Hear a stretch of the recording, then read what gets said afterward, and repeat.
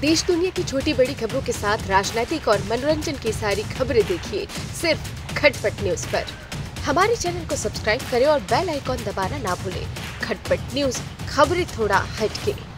कोरबा ज़िले में प्रसव के लिए आई महिला और उसके गर्भस्थ शिशु की मौत के बाद परिजनों ने डॉक्टर की जमकर पिटाई की। हंगामा बढ़ता देखकर सूचना मिलने के बाद मौके पर पहुँची पुलिस ने किसी तरह परिजनों को समझाया। इस दौरान पीड़ित परिजनों ने डॉक्टर से माफ़ी मांग ली है। मामला शहर के कोसाबाड़ी में संचालित न्यू कोरबा हॉस्पिटल का है। जांजगीर चांपा ज़िले के ग्राम कोसमंदा चापा में रहने वाली पुष्पा राज राठौर को प्रसव पीड़ा उठने पर परिजनों ने उन्हें शहर के कोसाबाड़ी चौक पर संचालित प्रतिष्ठित निजी अस्पताल में भर्ती कराया था। यहाँ इलाज के दौरान माँ और बच्चे दोनों की मौत हो गई। इसे लेकर मृतका के परिजनों ने हंगामा शुरू कर दिया।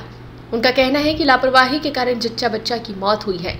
मृतका के ससुर का कहना है कि इंजेक्शन लगाने के बाद बहू की हालत खराब हुई और उसकी मौत हो गई क्योंकि 12 साल के बाद महिला माँ बनने वाली थी। इसे लेकर परिवार में उत्साह का माहौल था। मौत की खबर सुनते ही सब दुखी हो गए और आक्रोशित होकर विवाद की स्थिति बन गई। ये पूरा हंगामा और विवाद हॉस्पिटल में लगे सीसीटीवी कैमरे में कैद हो गया। Bureau report, Khatpat news.